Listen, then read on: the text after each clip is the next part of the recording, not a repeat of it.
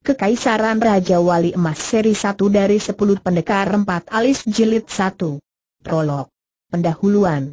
Luk Xiao Feng adalah seseorang, orang yang tak akan pernah kamu lupakan seumur hidupmu. Dalam kehidupannya yang luar biasa dan aneh, ia telah melihat banyak orang-orang luar biasa dan aneh serta peristiwa-peristiwa yang aneh dan luar biasa. Mungkin lebih aneh dan luar biasa dari apa yang pernah kamu dengar di mana pun. Maka, sekarang aku ingin memperkenalkan beberapa orang kepadamu, dan lalu berlanjut ke cerita mengenai mereka. Kacang bulan nenek sumbulan tampak bundar, kabut pun tebal. Tertutup oleh kabut yang tebal, bulan purnama tampak kelam dan sunyi, cukup untuk mematahkan hati seorang manusia. Tapi Zhang Fang dan teman-temannya tidak ingin menikmati pemandangan itu, mereka hanya ingin berjalan-jalan tanpa mengkhawatirkan apa-apa. Mereka baru selesai mengantarkan barang dari tempat yang sangat jauh, mereka juga baru saja minum anggur. Semua ketegangan dan kerja keras telah selesai. Mereka merasa santai, tanpa rasa cemas dan bahagia. Saat itulah mereka melihat Nenek Sung. Nenek Sung tiba-tiba muncul dari kabut seperti hantu. Dia seolah-olah membawa batu tak terlihat yang luar biasa besarnya di punggungnya, membebaninya sedemikian rupa sehingga seluruh tubuhnya membungkuk. Pinggangnya seolah-olah akan patah. Di tangannya ada sebuah keranjang bambu yang sangat tua, keranjang itu tertutup rapi oleh sehelai kain katun yang sangat tebal. Apa yang ada di dalam keranjang itu seseorang bertanya. Dengan suasana hati mereka seperti sekarang, mereka akan tertarik pada apa saja. Kacang gula, wajah nenek Eksung yang penuh keriput mengembangkan sebuah senyuman, kacang gula yang manis dan panas, hanya sepuluh farting sekatinya, satu kati sama dengan satu slash dua kilogram, kami ambil lima kati, masing-masing satu kati, kacang gula itu benar-benar panas, dan benar-benar manis. Tapi Zhang Fang hanya makan satu. Ia tidak pernah suka kacang, di samping itu, ia telah banyak minum. Ia baru makan sebuah kacang waktu perutnya mulai terasa sangat sakit, seolah-olah ia akan roboh. Ia belum roboh waktu ia melihat bahwa teman-temannya tiba-tiba berjatuhan. Setelah roboh, tubuh mereka segera mengejang sementara busa putih mulai muncul di sudut mulut mereka. Busa putih itu tiba-tiba berubah menjadi merah, menjadi darah. Nenek Sung masih berdiri di sana, memandang mereka, Senyuman di wajahnya tiba-tiba tampak sangat menakutkan. Ada racun di kacang gula itu Zhang Fang mengertakkan giginya dan ingin menghambur ke arah perempuan itu. Tapi saat itu ia merasa seolah-olah tidak ada kekuatan yang tersisa dalam dirinya. Ia ingin mematahkan leher nenek ini, tapi ia sendiri yang roboh di kakinya. Ia tiba-tiba melihat bahwa tersembunyi di balik gaun panjang nenek itu, dia mengenakan sepasang sepatu merah berselam.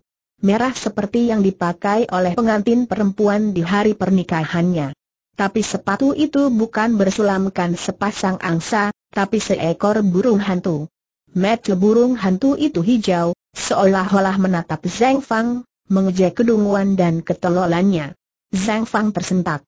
Nenek Sung tertawa dan berkata, rupanya kamu anak nakal yang suka melihat kaki perempuan. Zhang Fang berusaha mengangkat kepalanya dan bertanya, kenapa kau bermusuhan dengan kami? Nenek Sung tertawa dan menjawab, anak bodoh, aku tidak pernah melihat kalian sebelumnya, bagaimana aku bisa bermusuhan dengan kalian? Zhang Fang mengertakkan giginya dan bertanya, lalu mengapa kau membunuh kami? Nenek Sung menjawab dengan santai, tidak ada alasan sebenarnya, aku hanya ingin membunuh. Ia memandang ke arah kabut yang tampak samar dan bulan yang sunyi dan menjawab dengan lambat, bila bulan sedang purnama, aku ingin membunuh Zhang Fang memandangnya terbelalak, matanya penuh dengan rasa ketakutan dan amarah. Ia ingin sekali menggigit tenggorokan perempuan itu. Tapi tiba-tiba, seperti hantu, nenek ini menghilang dalam kabut yang tebal kabut tetap tebal dan samar-samar, dan bulan bertambah bundar. Hwasyo jujur matahari tenggelam di barat sementara angin musim gugur meniup buluh-buluh tumbuhan air di rawa-rawa itu. Tidak ada jejak-jejak manusia di tepi rawa. hanya seekor burung gagak yang terbang mendekat dan semakin dekat, akhirnya mendarat pada sebuah tiang kayu di tepi rawa yang biasanya digunakan untuk mengikat perahu. Tempat ini adalah sebuah dermaga yang sunyi, dan sekarang perahu itu telah berangkat untuk penyeberangan terakhir kalinya. Orang yang mengemudikan perahu itu adalah seorang lelaki yang sangat tua, bahkan jenggotnya pun telah putih. Setiap hari selama 20 tahun ini, ia telah bolak-balik di antara kedua tepi rawa di atas perahu miliknya itu. Tidak banyak lagi dalam hidup ini yang bisa membuatnya bahagia, kecuali minum dan judi. Tapi malam ini ia bersumpah tidak akan berjudi. Karena sekarang ada seorang Hwasyo di perahunya. Hwasyo ini tampak sangat alim, sangat jujur, tapi Hwasyo tetaplah Hwasyo. Setiap kali melihat Hwasyo, ia akan kehilangan semua uang yang dimilikinya. Hwasyo jujur ini duduk dengan sangat khusyuk di sudut perahu, menatap kakinya sendiri, kaki yang sangat kotor. Di kakinya yang sangat kotor, ia memakai sepasang sandal jerami yang sangat usang. Penumpang lain duduk sejauh mungkin darinya, seolah-olah mereka takut kutu-kutu di tubuhnya akan pindah kepada mereka. Hwasyo jujur tidak berani memandang yang lain, Bukan hanya ia seorang yang jujur, ia juga sangat pemalu. Bahkan waktu penjahat-penjahat itu melompat ke atas perahu, ia juga tidak menoleh, hanya mendengar teriakan-teriakan terkejut para penumpang diikuti oleh suara empat orang melompat ke haluan perahu. Lalu ia mendengar para penjahat mengancam dengan sengit, kami adalah pahlawan-pahlawan sekte ular air, kami hanya ingin uang dan bukan nyawa, jadi kalian tidak perlu takut, serahkan saja semua uang dan barang-barang berharga kalian dan semuanya akan beres. Matahari terbenam menyinari golok-golok di tangan mereka, pantulan dari golok-golok itu menerangi bagian dalam perahu. Di dalam perahu, laki-laki gemetaran dan yang perempuan menangis, semakin banyak uang mereka, semakin keras mereka gemetaran, semakin sedih tangis mereka. Hwasyo jujur masih duduk di sana dengan kepala tertunduk, memandang kakinya sendiri.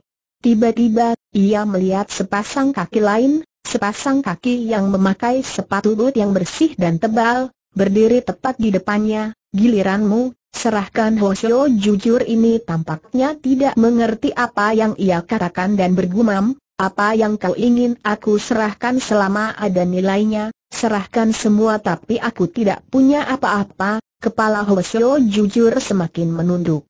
Ia melihat bahwa orang itu seperti akan menendang dirinya tapi ditarik mundur oleh temannya, lupakan saja, Hwasyo kotor ini tampaknya bukan orang yang punya uang, mari kita keluar dari sini, mereka datang dengan cepat, dan pergi dengan cepat, semua penjahat memang kurang percaya pada diri sendiri. Dengan segera bagian dalam perahu itu menjadi kacau, ada yang berjingkrak-jingkrak, ada yang mencaci maki, bukan hanya memaki para penjahat, tapi si Hwasyo juga, melihat Hwasyo benar-benar mendatangkan nasib buruk mereka tampaknya tidak peduli bahwa si Hwasyo bisa mendengar makian mereka, tapi si Hwasyo jujur tampaknya tidak mendengar mereka. Ia masih duduk di sana dengan kepala tertunduk, raut wajahnya tampak berubah-ubah, Tiba-tiba ia melompat bangkit dan berlari ke haluan perahu. Di haluan perahu ada sepotong papan, papan itu biasanya digunakan sebagai jembatan saat perahu berlabuh di dermaga. Hwasyo jujur meraup papan itu memukulnya pelan, papan kayu setebal tiga inci itu terbelah menjadi lima atau enam potong. Semua orang di perahu itu terkejut. Hwasyo jujur melemparkan potongan pertama, Potongan itu baru saja mendarat di air ketika ia melesat, ujung kakinya baru saja mendarat dengan lembut di atas potongan kayu itu waktu potongan kedua dilemparkan. Ia tampak seperti capung di permukaan air, sesudah empat atau lima lompatan di air, ia telah berhasil mengejar perahu sekte air yang menjauh. Para pahlawan sekte air baru saja menghitung pendapatan mereka hari ini waktu mereka melihat seseorang melompat dengan perlahan ke haluan perahu seperti seorang malaikat, itu adalah si Hwasyo kotor. Bukan hanya mereka belum pernah melihat kungfu seperti ini sebelumnya, bahkan mendengarnya saja belum. Jadi Hwasyo ini menyembunyikan dirinya, menunggu sampai kami telah mendapatkan uang sebelum ia mengganggu kami. Telapak tangan mereka telah basah dengan keringat dingin dan mereka berharap bahwa Hwasyo ini hanya ingin uang mereka dan bukan nyawa mereka. Tidak seorang pun dari mereka yang membayangkan kalau si Hwasyo tiba-tiba berlutut di depan mereka dan berkata dengan sopan, Aku punya empat tak perak, Sebenarnya aku bermaksud membeli satu set pakaian dan sepasang sandal jerami, itu pun sebenarnya sudah terlalu tamat, ia mengeluarkan perak itu dan meletakkannya di kaki mereka, dan lalu meneruskan, di samping itu, Hwasyo seharusnya tidak berdusta, tapi aku telah berdusta kepada kalian, sekarang aku hanya memohon ampunan kalian. Bila pulang nanti aku akan menghadap tembok dan memikirkan semua ini di hadapan Seng Buddha selama paling sedikit tiga bulan untuk menghukum diriku sendiri. Semua penjahat itu terheran-heran, mereka tidak berani mengatakan apa-apa. Kepala Hwasyo jujur menunduk ketika ia berkata, jika para pahlawan tidak mengampuniku, maka aku tidak punya pilihan selain berlutut di sini, Siapa yang menginginkan orang seperti ini di atas perahu? Akhirnya seseorang mengumpulkan keberaniannya dan berkata, Baiklah, kami, kami, mengampunimu. Kalimat itu seharusnya dikatakan dengan keyakinan penuh, tapi waktu orang ini mengatakannya, suaranya seperti orang tercekik. Kebahagiaan tiba-tiba muncul di wajah Hwasyo jujur, duk, duk, duk, ia bersujud tiga kali di geladak perahu, bangkit dengan lambat, tiba-tiba melompat sejauh 20 meter ke tepi rawa, dan menghilang. Semua orang berdiri dengan kaget di haluan perahu, mereka hanya bisa saling berpandangan, lalu memandang uang perak tadi. Entah sudah berapa lama, seseorang akhirnya menarik napas panjang dan berkata, kalian kira dia benar-benar seorang Hwasyo? Apalagi jika dia bukan Hwasyo malaikat, malaikat yang nyata, Keesokan paginya, seseorang menemukan bahwa 18 anggota ternama sekte ular air mati di tempat tidur mereka. Semuanya tampaknya mati dengan damai, tidak ada luka maupun racun ditemukan, tidak seorang pun sanggup membayangkan bagaimana mereka bisa mati. Ksi mencuit sue Ksi mencuit sue tidak meniup salju, ia meniup darah. Darah yang ada di pedangnya, cui berarti tiup, Ksue berarti salju, tapi lafalnya sama dengan darah. Ini permainan kata-kata yang sangat cerdas. Air di bak mandi masih hangat dan masih tersisa harumnya bunga melati. Ksi mencuit Sue baru saja mandi dan membasuh kepalanya, ia telah membasuh setiap bagian tubuhnya sampai bersih. Sekarang Xiao Hang sedang menyisir rambutnya, sementara Xiao Cui dan Xiao Yeu sedang memotong dan membersihkan kukunya. Xiao Yun telah menyiapkan seperangkat baju baru untuk dipakainya, semuanya putih mulai dari pakaian dalam hingga kaos kaki, putih seperti salju. Mereka semua adalah pelacur terkenal di kota itu, semuanya sangat cantik, sangat muda, mereka semua tahu bagaimana caranya menyenangkan laki-laki menyenangkan laki-laki dalam segala cara. Tapi Xi mencuit Sue hanya memilih satu cara. Ia tidak pernah menyentuh mereka. Ia telah berpuasa selama tiga hari. Karena ia akan melakukan sesuatu yang ia percaya merupakan hal yang paling mulia di dunia. Ia akan membunuh seseorang. Namanya Hang Tao. Ksi mencuit Sue tidak kenal orang itu, juga belum pernah melihatnya. Ksi mencuit Sue akan membunuhnya hanya karena dia telah membunuh Zhao Gang. Semua orang tahu bahwa Zhao Gang adalah orang yang sangat lurus dan setia, lelaki sejati di antara manusia. Ksi mencuit Sue tahu hal itu juga, tapi ia juga tidak kenal Zhao Gang, belum pernah melihatnya juga. Ia telah menempuh ribuan kilometer, berkuda selama tiga hari di bawah terik matahari, tiba di kota yang tidak ia kenal ini, mandi, puasa selama tiga hari, hanya untuk membalas dendam bagi seseorang yang tidak pernah ia temui sebelumnya dengan membunuh seorang lainnya yang tidak pernah ia lihat sebelumnya. Hang Tao memandang Xi mencuik Sue, ia tidak percaya ada orang seperti ini di dunia yang akan melakukan hal seperti ini. Pakaian Ksi mencuit swe putih seperti salju sementara ia berdiri dengan tenang di bawah pintu gerbang barat, menunggu Hang Tao menghunus goloknya, Ksi Men berarti pintu gerbang barat, jadi kata ini juga permainan kata-kata dari nama Ksi mencuit swe, sebagian besar orang di dunia persilatan tahu tentang Hang Tao si golok kilat. Jika goloknya tidak benar-benar secepat kilat, satu golok mengguncangkan sembilan provinsi Zhao Gang tidak akan mati di bawah goloknya. Hang Tao membunuh Zhao Gang karena lima kata itu, satu golok mengguncangkan sembilan provinsi, lima kata, satu nyawa. Xi mencuit Sui hanya mengucapkan total empat kata. Hang Tao bertanya mengapa ia datang, ia hanya menjawab, untuk membunuhmu Hang Tao lalu bertanya kenapa, ia menjawab, Zhao Gang Hang Tao bertanya, Apakah engkau teman Zhao Gang? Ia hanya menggelengkan kepalanya.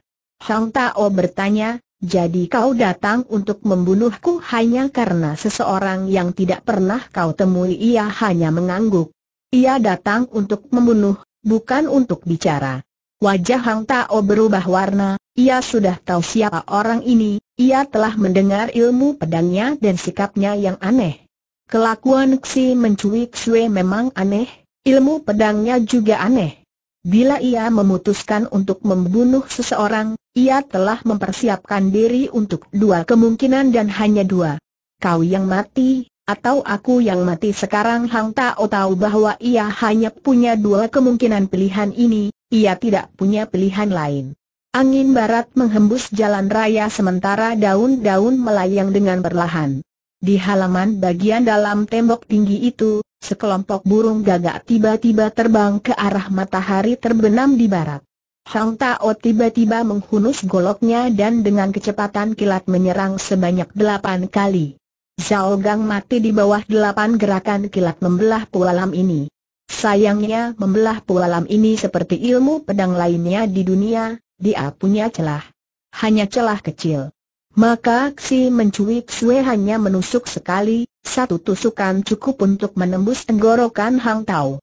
Waktu ia menarik kembali pedangnya, ada darah di pedang tersebut. Xi mencuit Sue meniup pedangnya dengan lembut, dan lalu darah menitik setetes demi setetes, jatuh di sehelai daun kuning di atas tanah. Waktu daun itu melayang terhembus angin barat, Si mencuit Sue telah menghilang di keremangan senja, menghilang bersama angin barat. Men Lu bunga-bunga segar menghiasi bangunan itu.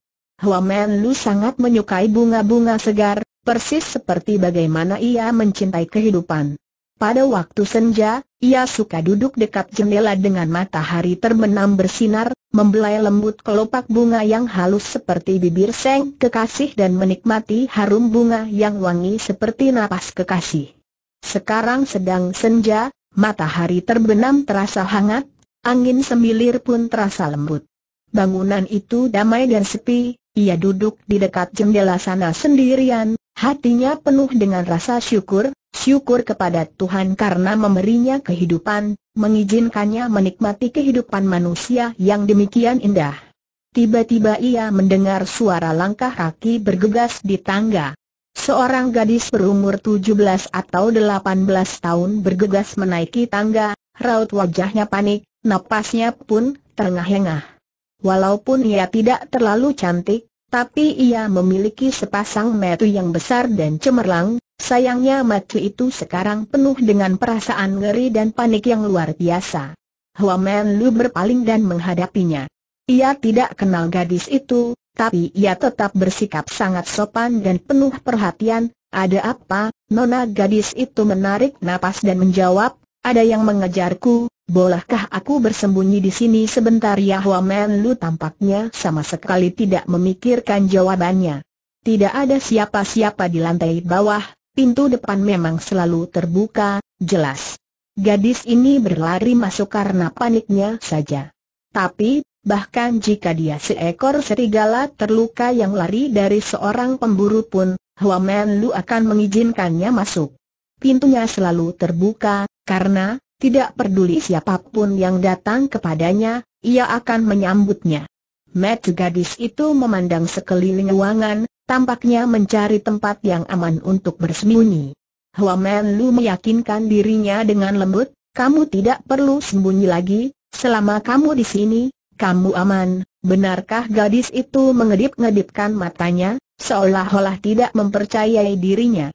Bukan hanya orang yang mengejarku itu jahat dan keji, dia juga membawa golok, dia bisa membunuh orang kapan saja Hua Men Lu tersenyum dan menjawab, aku jamin dia tidak akan membunuh di sini, masih merasa tidak yakin, gadis itu hendak bertanya, kenapa tapi ia tidak sempat bertanya, Laki-laki yang memburunya telah tiba di gedung itu dan berlari menaiki tangga. Tubuhnya tinggi dan besar sekali, tapi gerakannya sangat cepat dan gesit saat menaiki tangga. Ia benar-benar membawa sebatang golok, matanya juga memancarkan sinar kejam dan tajam seperti pisau. Ketika ia melihat gadis itu, ia segera berseru, sekarang kita lihat ke mana kau bisa lari. Gadis itu berlari ke belakang Hua Men Lu. Hua Men Lu tersenyum, sekarang dia ada di sini, ia tidak perlu lari lagi, orang itu menatapnya, melihat bahwa ia tidak lebih dari seorang pemuda yang tampan dan halus, orang itu tertawa dan berkata, kau tahu siapa bapakmu ini? Berani-beraninya kau mengganggu urusan bapakmu Hua Men Lu masih tenang dan sopan, siapa kamu orang itu mengangkat pundaknya dan menjawab, bapakmu ini adalah Raja Golok Bunga Cui Ye Idang. Ku beri kau satu bacokan, tubuhmu akan punya satu lubang lagi, masih permainan kata-kata, Ye Idang berarti satu lubang, Hua Men Lu menjawab, beribu-ribu maaf, aku tidak pernah mendengar namamu yang terhormat sebelumnya, tubuhku pun tidak perlu lubang tambahan, aku tidak ingin lubang lagi, baik yang kecil maupun yang besar, gadis itu tidak bisa menahan tawanya yang nyaring. Wajah Cui Ye Idang berubah warna, tiba-tiba ia menjerit, kau akan mendapatkannya biarpun kau tidak ingin ia menggetarkan goloknya, sementara sinarnya masih berkedap, goloknya telah menusuk ke perut Hua Men Lu. Hua Men Lu tidak menggerakkan tubuh sama sekali, hanya dua jarinya saja. Ia tiba-tiba menggerakkan tangannya, dan kedua jari itu langsung menjepit golok tersebut. Golok itu seolah-olah berakar di antara kedua jarinya. Cui Idang menarik dengan seluruh kekuatannya, tapi ia masih tidak mampu menarik kembali goloknya. Hua Men Lu masih tersenyum, jika kamu ingin meninggalkan golokmu di sini, aku akan menjaganya, pintuku selalu terbuka, kamu bisa datang kapan saja untuk mengambilnya kembali, Cui Ye Idang sudah penuh dengan keringat dingin, tiba-tiba ia menghentakkan kakinya ke lantai, melepaskan golok, dan lari menuruni tangga tanpa melihat ke belakang lagi. Larinya jauh lebih cepat daripada waktu naik tadi. Seperti suara lonceng, gadis itu tertawa, ia memandang Hua Men Lu dengan kagum dan heran, aku tidak tahu kalau kau mempunyai kemampuan sehebat itu, Hua Men Lu tersenyum dan menjawab, Bukan aku yang mempunyai kemampuan hebat, tapi dia sendiri yang tidak punya kemampuan. Gadis itu menjawab, siapa bilang dia tidak punya kemampuan?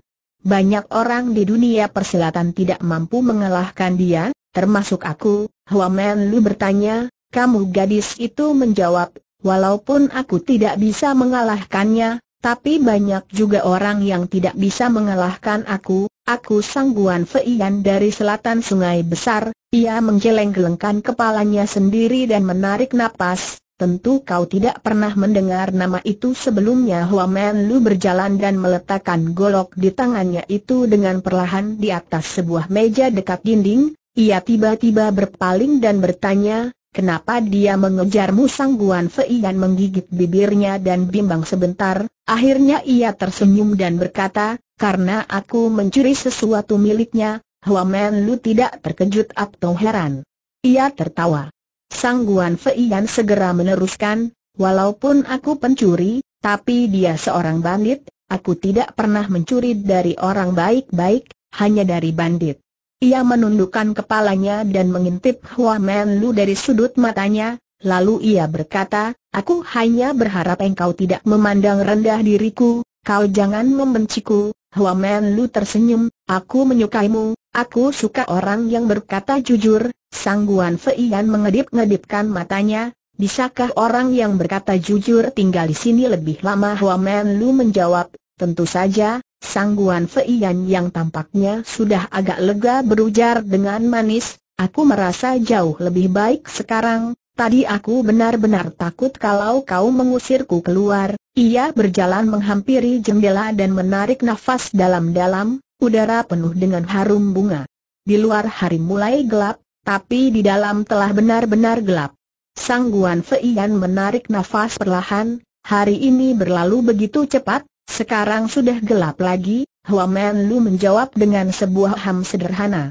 Sangguan Feiyan bertanya, mengapa kau tidak menyalakan lampu Hua Men Lu tersenyum dan menjawab, maaf, aku lupa kalau ada tamu. Sangguan Feiyan bertanya, kau hanya menyalakan lampu bila kau punya tamu Hua Men Lu hanya menjawab dengan sebuah ham lagi.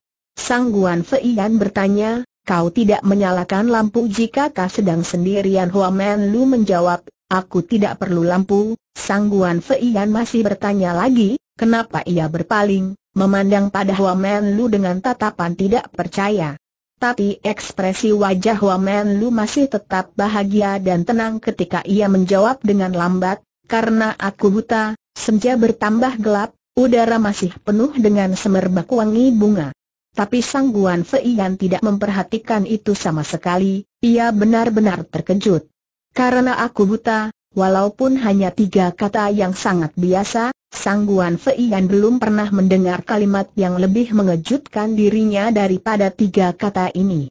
Ia menatap Hua Men Lu, lelaki ini, yang penuh dengan perasaan cinta terhadap kehidupan, yang penuh dengan harapan untuk masa depan, yang jerinya bisa menjepit golok yang dibacokan orang dengan seluruh kekuatannya, yang hidup sendirian di gedung ini, bukan hanya dia tidak memerlukan bantuan orang lain, tapi dia pun selalu siap menawarkan pertolongan pada orang lain. Sang Guan Feiyan tidak bisa percaya kalau orang ini buta. Tak tahan lagi ia. Bertanya, apakah kau benar-benar buta Wamen Lu mengangguk, aku buta sejak berumur tujuh tahun, Sangguan Feian mengamati, tapi tingkah lakumu tidak seperti orang buta, Hua Men Lu tersenyum lagi, bagaimana seharusnya tingkah laku orang buta Sangguan Feian tidak tahu bagaimana menjawabnya. Ia telah melihat banyak orang buta sebelumnya, ia selalu menganggap orang-orang itu selalu sedih dan murung, karena dunia yang indah dan penuh warna ini telah berubah menjadi bukan apa-apa selain kegelapan bagi mereka. Walaupun ia tidak mengatakan hal ini, Hua Men Lu jelas mengerti apa yang ia maksud. Masih sambil tersenyum, ia berkata, aku tahu bahwa kau membayangkan orang-orang buta itu seharusnya tidak sebahagia diriku, Sangguan Feiyan terpaksa mengakuinya. Hua Men Lu berkata, sebenarnya menjadi buta itu tidak buruk sama sekali, aku masih bisa mendengar dan merasa, Kadang-kadang aku menikmati jauh lebih banyak kesenangan daripada orang lain, wajahnya penuh dengan sinar kepuasan yang berasal dari kebahagiaan ketika ia meneruskan dengan lambat, pernahkah kau dengar suara salju jatuh di atap? Bisakah kau merasakan kekuatan kehidupan yang aneh tapi menakjubkan ketika kuncup bunga mengembang dengan perlahan di musim semi? Apakah kau tahu bahwa angin musim gugur sering membawa wangi pepohonan dan hutan dari lereng bukit di kejauhan sana? Sangguan Feiyan mendengarkan ia bicara dalam diam, seolah-olah dia sedang mendengarkan sebuah lagu yang lembut dan indah. Hua Men Lu berkata, jika kau ingin mencarinya, kau akan menemukan betapa cantik dan indahnya kehidupan, setiap musim memiliki banyak keunikan dan kesenangan yang bisa membuatmu melupakan semua masalah dan kecemasanmu. Sangguan Feiyan menutup matanya, tiba-tiba ia merasakan angin menjadi lebih lembut dan bunga-bunga menjadi lebih harum. Hua Men Lu meneruskan, apakah kau bahagia atau tidak? Tidak ada hubungannya dengan apakah kau buta atau tidak, tapi semuanya berhubungan dengan apakah kau benar-benar mencintai kehidupanmu dan apakah kau benar-benar ingin hidup bahagia. Sangguan Feiyan memandang wajahnya yang damai dan bahagia, yang tampak gemerlapan dalam sinar senja. Kali ini mata gadis itu tidak lagi penuh dengan perasaan terkejut dan heran, tapi dengan rasa hormat dan terima kasih. Ia berterima kasih kepada pemuda itu, bukan karena dia telah menyelamatkan hidupnya, tapi karena dia telah membuatnya sadar apa artinya hidup. Ia menghormatinya, bukan karena kungfunya, tapi karena sikap dan hatinya yang mengagumkan.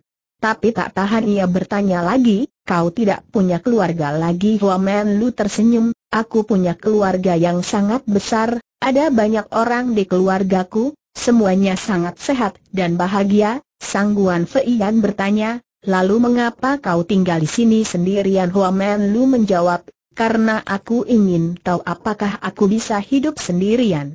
Karena aku tidak ingin orang lain membantuku di setiap langkahku, aku tidak ingin orang lain memperlakukanku sebagai orang buta. Sangguan Feiyan bertanya lagi, kau, apakah kau benar-benar suka tinggal sendirian di sini? Hua Men Lu menjawab, Aku telah tinggal di sini selama delapan bulan, dan aku tidak pernah sebahagia ini sebelumnya. Sangguan Feiyan menarik napas perlahan dan bertanya, tapi selain salju di musim dingin dan bunga-bunga di musim semi, apalagi yang engkau punya Hua Men Lu menjawab, aku bisa tidur nyenyak, punya selera makan yang baik, rumah yang sangat nyaman, dan sebuah sitar berdawai tujuh yang suaranya sangat merdu, itu semua sudah cukup.